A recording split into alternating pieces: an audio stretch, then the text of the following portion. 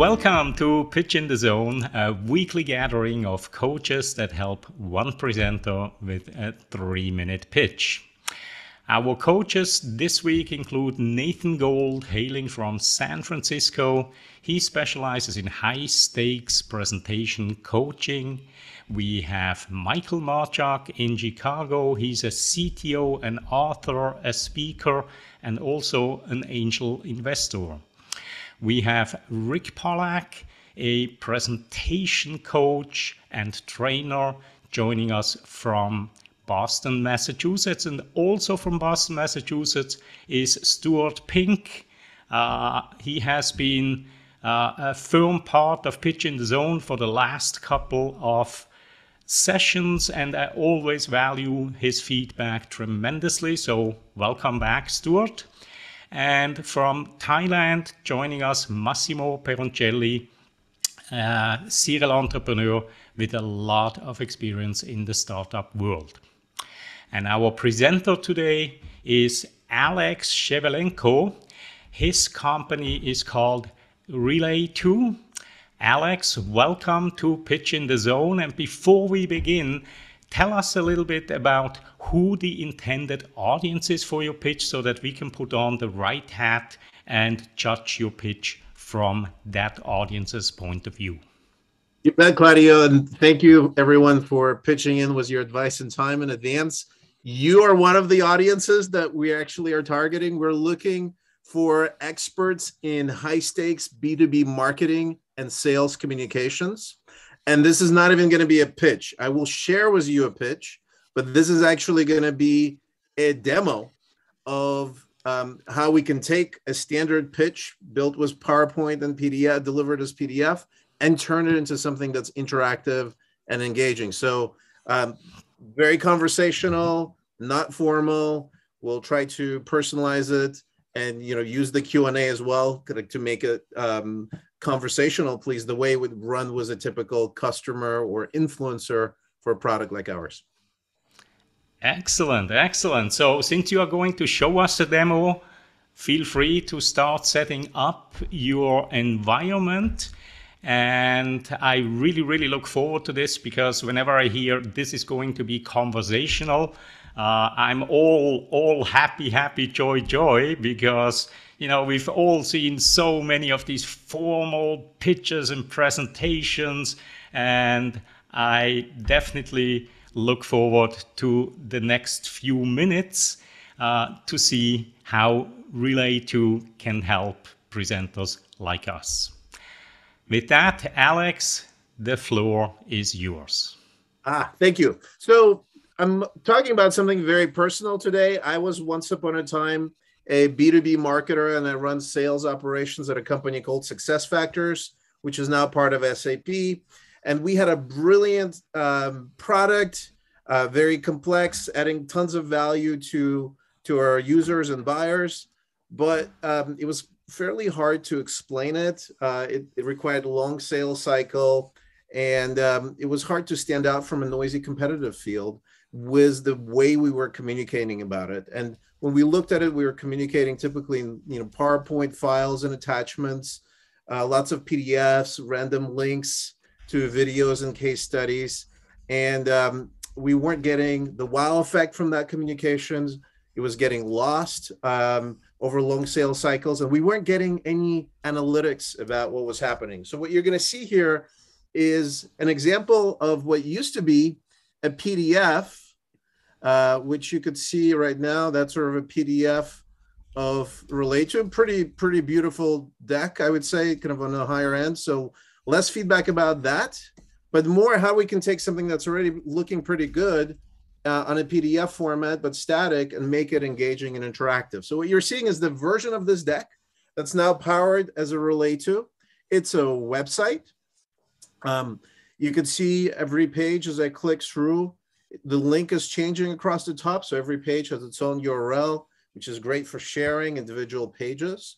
And you'll see that unlike a typical PDF, if I click on the video, for example, inside, it will start playing. I'm not leaving to YouTube or Vimeo and watching cats. You know, if I close the button, I'm back inside this experience. and I can navigate it just like I would in an average presentation. But you notice, uh, unlike a PDF, there's more movement and engagements. I could drill in and explain certain things. One of the things that's really interesting is I could scroll through this experience. So it was one click, if I go here, now what used to be a, a very kind of familiar presentation, the same thing becomes now a scrollable microsite. And that's a big win if you're trying to save some time and not to create a fancy website experience and learn to code to do that and work with, with the developers and designers. This is straightforward. You take your PowerPoint or InDesign from Adobe skills and turn them into experiences. And these experiences could be interactive. So I could drill into supporting materials if I want to, if the conversation goes a certain way. Um, I could skip through, for example, using the navigation, which you could see across the top, and I could say, hey, what's the big idea? Well, the big idea is, as you're starting to see, is that we're taking documents, which everybody uses, we all know how to do them, but they're not quite sufficient to break through the noise in today's busy world or give you a competitive advantage. We're taking that, that product and giving it the superpowers of the web, which is very expensive and cost prohibitive and you limit it to the specialists.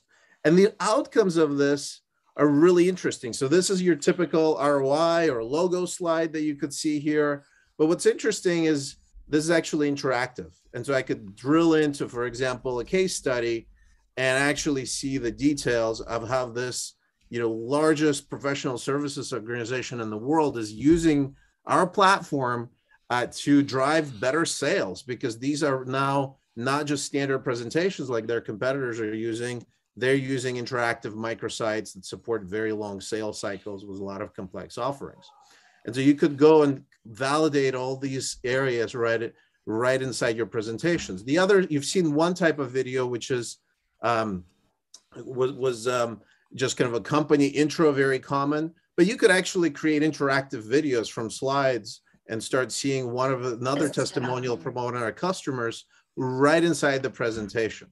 Uh, and that allows you to to have breaks where the there's you know different types of mediums that are consumed by different people. So somebody who is consuming this completely on their own could jump in and really they they care about customer voice they could go into that. A common uh, question is you know what's so special about you, and this is um, another um, kind of approach is you could dive into subsections of that question and say, hey, look, we have amazing customers. We are rated uh, on G2 as the best product for creators, for marketers, and for salespeople. This is really special from our point of view. So we want our users to discover it. And you see, I'm pointing here uh, to this. And so this is in a nutshell what RELAYTO does. You could see I could flip back between presentations and slides. Um, I, I, have um, inside here call to actions that allow me to to do some things like email or right inside RELAYTO, i could go and book a meeting um, which i encourage all of you to do uh, to follow up and explore how this presentation can help me do things the sharing right now for this document is public uh, so you could go and immediately um, put it on the web uh, but also i could uh, you know take a thumbnail and copy it and have engaging email out of the box right right here. So these are some of the quick wins was RELAYTO. If you're worried about like, oh, do I have to get away from PowerPoint and and change my things? Not really. You could just have this very high um, high PowerPoint like experience. But you'll notice this navigation that we've covered has a lot of other things in here available in a click of a button. I could go to any other case study. I could go to any other buying resource. I have more or less the entire sales journey here laid out. So depending on where the conversation goes, I could drill into a study for Salesforce that's not easily embedded inside this presentation and goes for that right now. Or I could come back to the original presentation, all in one click without disinterruptions. So with that, I'll pause for a second, ask you, where do you want to take this presentation? Do you want to hear about analytics? All right, all right, all right. Very good, very good. So you you promised conversational, and it was somewhat conversational. Yet one of the issues with you know, relying purely on the conversational aspect is structure. I mm-hmm. think you could structure this in a whole new way that really pulls us in differently. I felt you spent too much time in the very beginning talking about your background and without really, really pulling me in with something that would catch my attention and then carry it over. Mm-hmm. Um, as you can see on the timer on my screen, this is not your total time. You didn't talk for 3 minutes and 38. This is the overtime. So you talked oh. for 6 minutes and 38 seconds, which is twice as long as we originally uh, allotted for. Okay. So that to me tells me that uh, that conversational approach, yes, it is appealing, but it still needs to be fairly well prepared so that you can use the structure in the allotted time. Now, we are all amongst friends here, so it doesn't really matter all that much, but sometimes you might be in a situation where time really, really matters. And just keep an eye on your own timer. Uh, you know, let it run in the background, maybe even set uh, a notification so that you hear about 10 seconds before the time is up or your phone vibrates at that time, and that will help you there as well. But that's enough from me right now. Let me open the discussion with uh, Massimo. Massimo, what kind of feedback and questions do you have for Alex? Because as he said before, this isn't only about pitch feedback, but also to hear from us as presenters whether we see any value in this type of tool. Yes, thank you. Well, it was, I mean, beautiful, professional. I would mm, say that whoever designed that is really a truly professional graphic uh, UI designer, whatever it was beautiful. I, I can say it's probably the best ever PowerPoint or slides we ever seen in Pitch in the Zone. So congratulations on that. Like Claudio said, uh, at the beginning, you spent 30, 40 seconds uh, describing your background, which is great, but then you were just showing the first page of your presentation, which had nothing to do with your background. So just maybe put something else related to your background. And since you ask also for, I'm a software engineer by, by education and passion. So I, I really love the product. In a way, I didn't really understand uh, uh, how easy it would be to transform or export or import a PDF or PowerPoint into your solution. You didn't, you just showed your one and the result, but I didn't really get a feeling if like you need an engineer to do that, a software developer, or just somebody who knows a little bit, or just any any guy with a little bit of experience. And what scared me a little bit was that you said that this documentation can um, can also be used alone. So you can give this thing instead of a PDF to somebody else, and they can just brow- browse through that. Well, my question would be Is there a way from within your software to force the user to follow a path? Because what you did, while totally beautiful, left me totally drunk. I had no clue where you were going, how to go where, and I didn't see a, a, a path, a, a, really. And, and so if you gave me that, I would be lost without really understanding where should I go. So from a product point of view, I would like to know if there's a way to kind of force the user to, to go where you want them to go instead of letting them explore and getting lost. But congratulations again for the totally professional uh, graphic on that. Thank you. Thanks. Well, I, I could answer really quickly on the the first question. I think um, Massimo, the, this is the sort of it depends. So there's the version of RELAYTO where you just upload your PDF and magically you get a number of these things from sharing to branding to um, optimized kind of navigation. and extracting any links that you may have inside your PDF in an immersive way. And then you can, you know, and in our case, this is quite true. In this example, you could do all sorts of interesting things that helps you win awards as a digital experience uh, company. So it's low barrier, high ceiling is the way I would describe it. Similar to products like Airtable, which you could start, you know, to to get some success with, but you could spend quite a lot of time uh, building out a replace, you know, a sophisticated platform. So that's question one. Question two on the navigation control. I think if you're really worried about that, you would just have a much more simple uh, single passage uh, setup. In this case, we obviously, you know, want to show how we're drinking our champagne and eating our caviar. So we are focused a lot more on the what I would call a self-guided experience where people do care, they want to explore. But, but it's a very good question. That's not always the necessary route, and sometimes you just really want very linear route uh, that many of our customers use, and that's supported as well. I will say this: the world is moving more to a non-linear consumption uh, because that's what people are trained for and you know just sort of the, that's a trade-off that we're supporting with this platform so few people want to go sit and linearly consume an 80 page document especially if they're a busy audience Excellent. Okay, thank you very much, and thanks for for answering these questions in this fashion.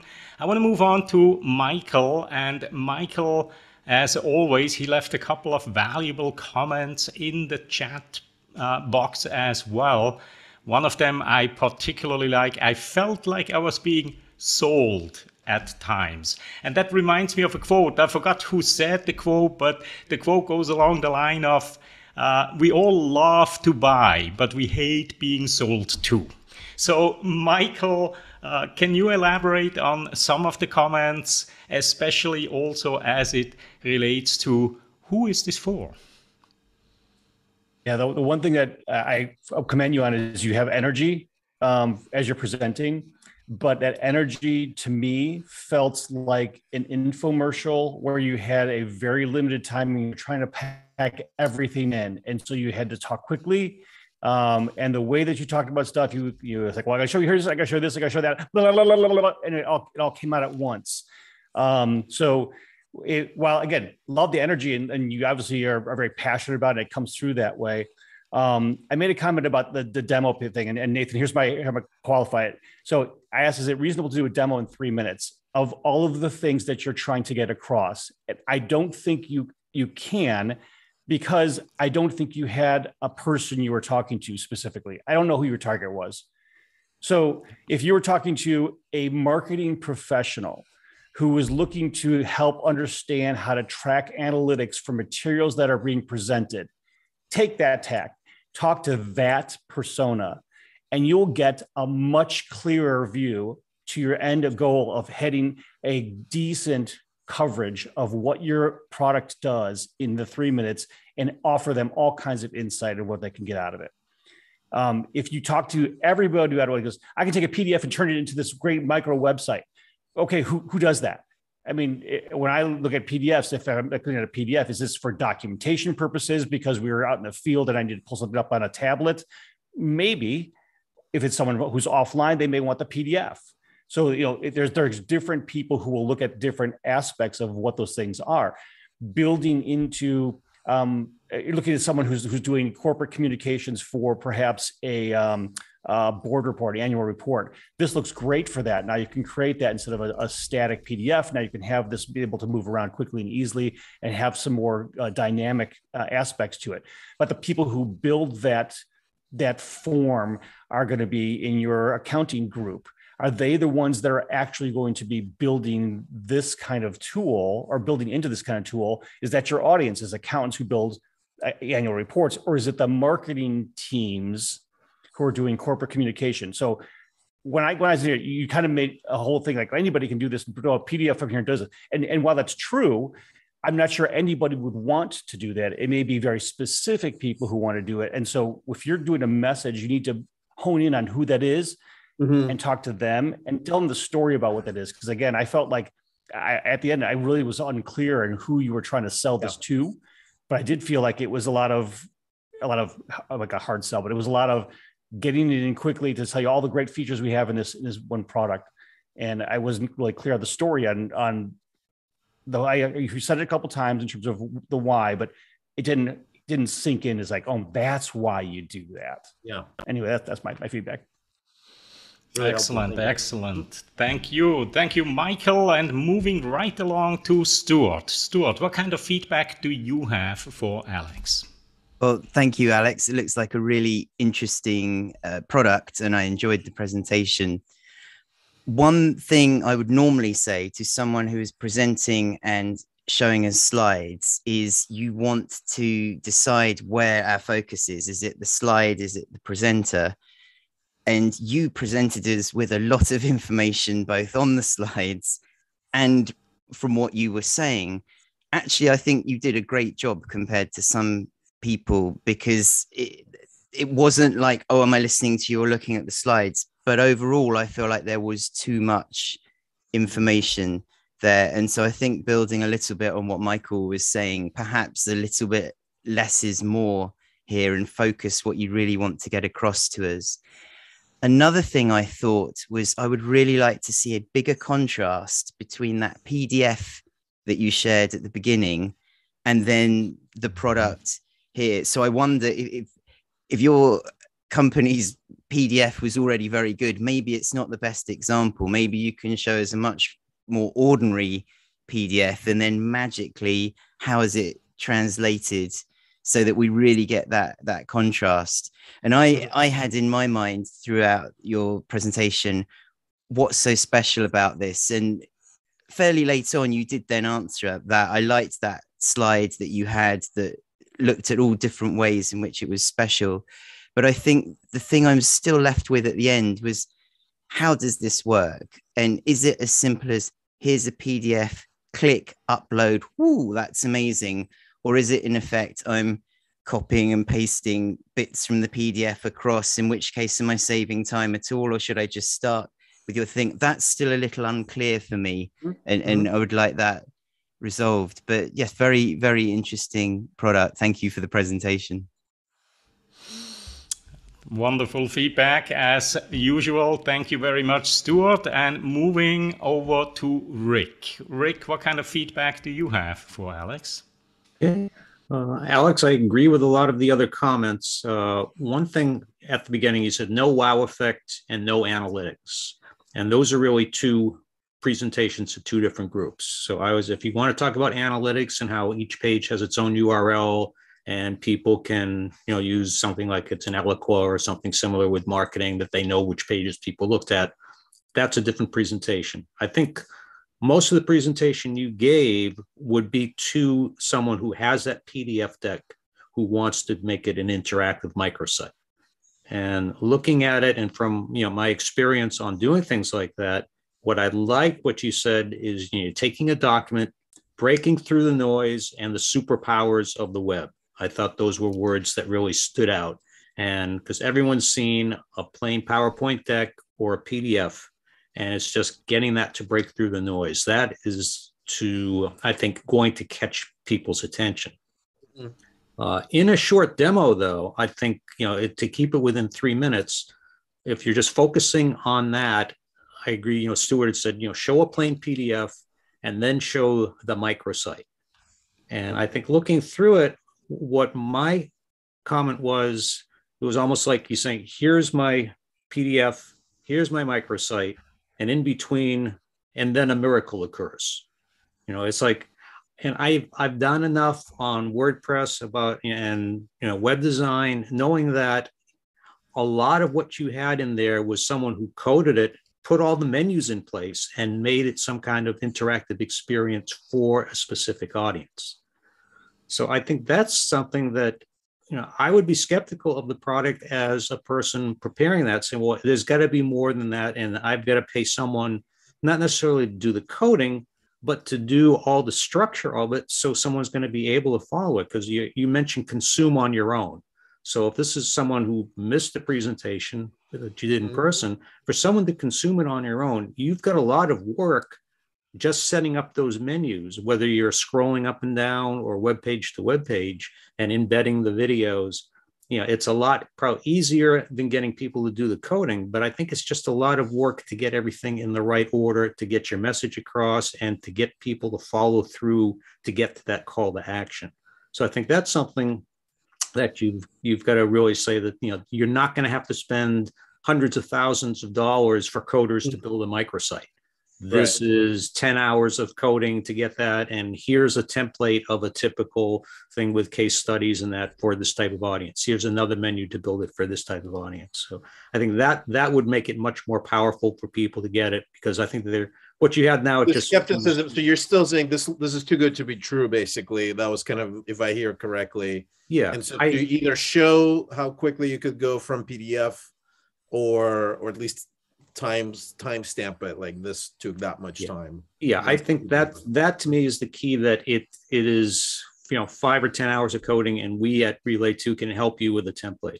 Uh, another we don't code. This is we are no code just to be clear. Yeah. Uh, but but it is a saas tool that allows you to do more you know advanced interactive things. And so that that is um so i think you're you're really helping here. We should timestamp how much yeah, know, I, it takes to get from A to B.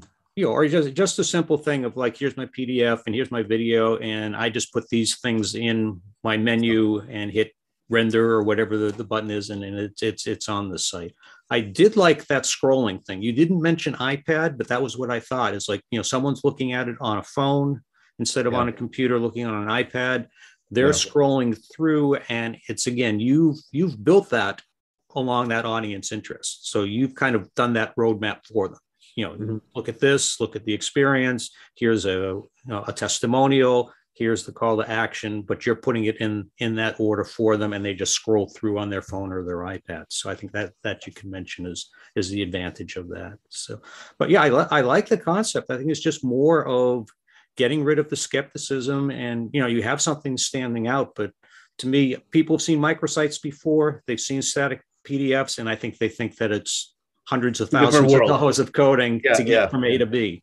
And if you've got a quick way of doing that, that you know someone can do without a, a whole coding department or spending you know thousands and thousands for web designers and, and programmers, then you know focus on that and and and and make it real. Show show how simple it is.